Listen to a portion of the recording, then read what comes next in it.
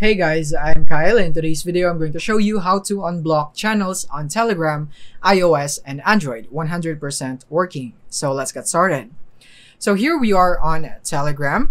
And from here, if you are experiencing errors that you are unable to uh, display some channels, that is because of the filtering. So we need to tweak something on the settings. So to do that, uh, you can basically do it here in the app. So if you're exploring the settings here, you are not gonna find it right here. So what you would need to do is you want to go into your browser and from here log in into your Telegram app. So go to webtelegram.org and then log in into your account. And then from here you want to tap on the three horizontal bars on the top left. So you want to tap on this one so that this menu would pop up. And from here what you need to do is tap on settings. And now from here you want to go and find privacy and security, which is this one right here. So tap on that. And then from here, all we have to do now is basically just scroll all the way down.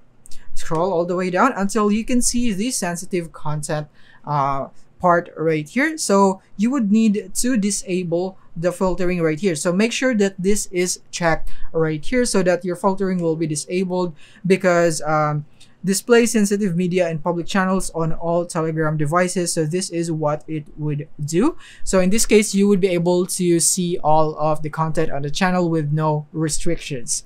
So that is basically it for this video. I hope this video helped you out. Thank you for watching